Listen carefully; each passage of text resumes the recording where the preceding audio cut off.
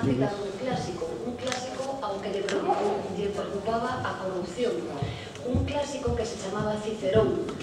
Cicerón dicía que non había vicio máis execrable que a cobiza, sobre todo entre os que gobernan a nación, pois servirse dun cargo público resulta non xa só inmoral, senón criminal e abominable. Eu pídolle, eh, señor Feijó, que nesta ocasión, diante da sentenza que acaba de dictar o Tribunal Superior de Justiza de Galiza o día 22 de xaneiro, estea á altura de Cicerón e aínda que sendo un político conservador, como é vostede e eu o respeto, proclame a honestidade no exercicio da presidencia da Xunta de Galicia. Falo isto e digo isto porque, señor Feijó, esta sentencia que temos aquí non fala dunha relación de amor e de ignorancia como a infanta entre a Conselleira de Sanidade e o seu esposo.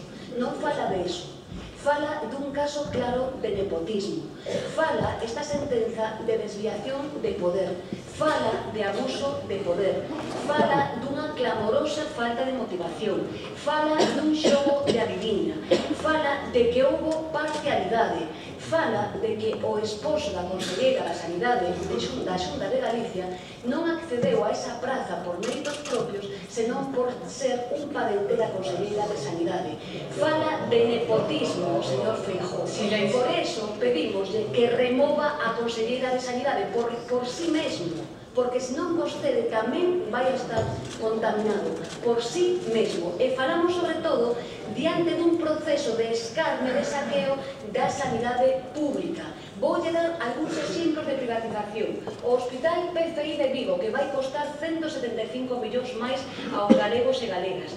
Mantenen Galaria como sociedade anónima, a ampliación do hospital dos Anés, 8 millóns de euros, a terceira licitación da ampliación da xestión privada do Chou, os centros de saúde móviles privados para o rural, a privatización da alta tecnoloxía por importe de 88 millóns, os servicios de protección radiolóxica en máis de General Electric e Galaria, a privatización da hemodiálise por importe de 25,5 millóns de euros, a esterilización do instrumental, os institutos biomédicos dos Sergas, o I máis D máis I privado, suma e sigue, señor Feijó. Señor Feijó, Que é o que estamos pagando os galegos e, a, e as galegas coa privatización destes servicios?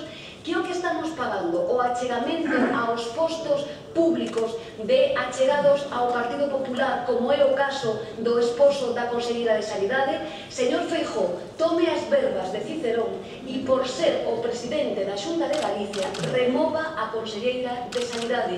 A sentenza é clamorosa, contundente. Vostede o recoñeceu, non sirve só con acatada, hai que asumir responsabilidades políticas.